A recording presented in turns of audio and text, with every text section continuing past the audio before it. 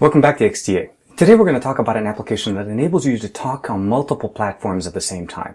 And I'm talking about social network platform. Google+, Facebook, Twitter. I know those are the main ones. There's also Instagram that's coming down the pipe. But the main point of the application is you'll be able to share a single post to all these networks within one application in less than three seconds.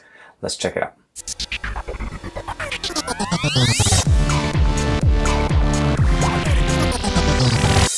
To install the application on your device, first thing you want to do is go into the Google Play Store.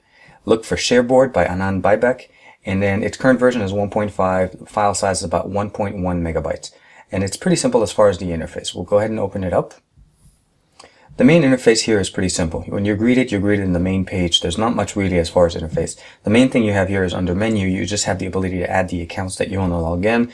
You log in each one of them, but again, keep in mind, you do need to have the Google Plus application installed. So we'll go back in.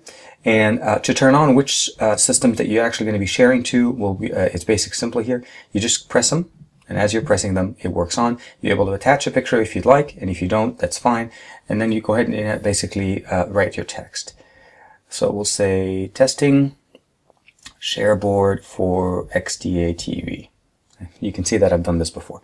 Uh, and then we'll go ahead and in here, and then basically it's ready to go.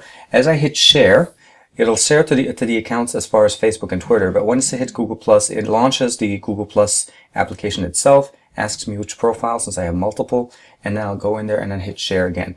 Ideally, this goes pretty quick. If you have one account, you just hit share, and again, the button is in the same location it goes in.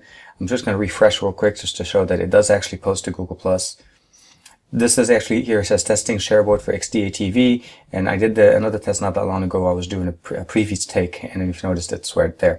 So it works, and it does exactly what it's intended, and I like the fact that it integrates itself with Google+. Hope you like this. Again, the simple minimalistic uh, system here is very nice. No ads, no intrusive, uh, you know, analytics or any kind of data collection on this.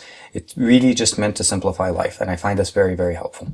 So you guys can see the application is pretty simple. It does exactly what it's intending to do. It has the ability to share to those three main networks. Google Plus was recently added after a conversation with the developer. And the way he implemented it is very genius because he's going around the process of being able to actually post to Google Plus based on the limitation of the API currently by opening up the share box. So that's the only caveat you have to keep in mind. You need to have Google Plus installed and not only installed it, you have to have it actually turned on and logged in. So as long as you have that installed and you're using Google Plus, more than likely you have that app installed, so I don't think it's a problem. You're able to basically post directly to both, uh, to Google+, Facebook, and Twitter in literally less than three seconds, uh, as long as you don't have multiple accounts like I do, and you have to actually select the account, whichever one you want to post. But even then, I think it's a plus. I like the application. It's simplistic. It's, it really feeds or it serves an actual service that almost no other application has on the market right now.